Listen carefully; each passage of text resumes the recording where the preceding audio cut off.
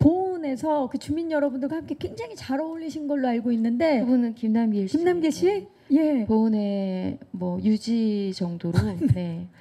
말씀하시죠. 남길 씨 진짜 보은의 핵인사였던 걸로 알고 있습니다.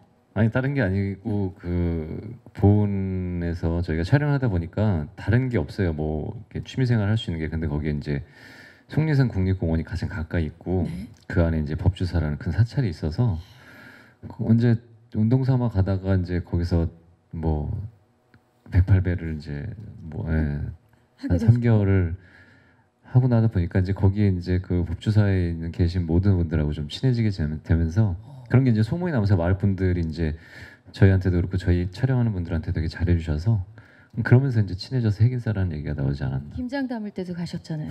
여기 마을 마을 아 마을 김장 네. 담을 때 어떻게 된 겁니까? 아니 우연찮게 갔는데 이제 그 전날에 김장 담근다고 와가지고 좀 도와달라 그래서 음, 보쌈 드셨어요? 네네 거기서 얻어 먹었습니다. 어 대단합니다. 어 이제 보은의 아들로 다시 태어나는 네 그- 그때 별명이 제가 보은의 아들이었습니다. 네. 보아. 예. 지금 출마 준비 중이에요. 어 제가 봤을 때 그 옆에 정지영 씨가 계실 것 같습니다. 아니, 저는 저는 의외로 아싸예요. 네, 제가 인싸 의아싸? 같은데 예. 예, 의외로 아, 의아싸 아, 의아싸. 괜찮네. 예.